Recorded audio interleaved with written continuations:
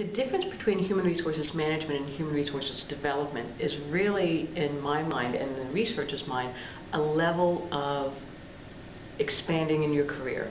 And as HR professionals um, advance in their career, the competencies that are required in leadership positions are far more, far more related to the HRD competencies that we have in the program.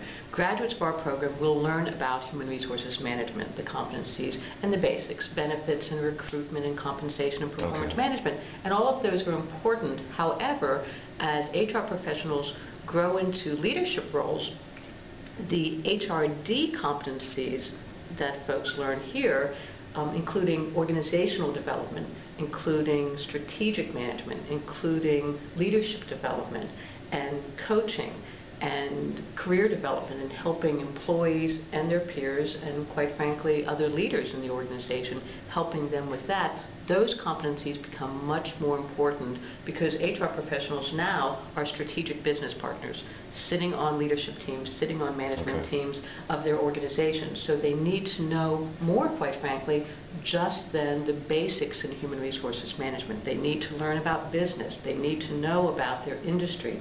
They need to know why organizations work the way they do. Mhm. And those fall under the HRD umbrella much more than they fall under the human resources management umbrella.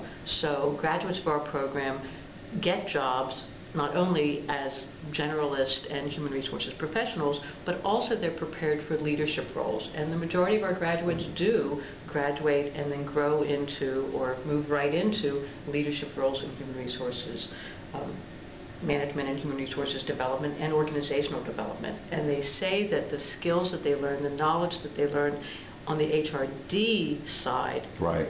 is what really makes them successful.